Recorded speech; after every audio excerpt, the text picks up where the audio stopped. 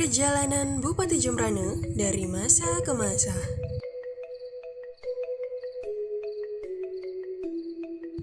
Anak Agung Bagus Negara menjabat dari tahun 1929 sampai 1958. Ide bagus Gede Doster Jabatan Bupati Kepala Daerah Swatantara tingkat 2 Jembrane untuk pertama kalinya dijabat oleh Ide Bagus Gede Doster dari tahun 1959 sampai 1967. Kapten R. Syafroni menjabat dari tahun 1967 sampai 1969.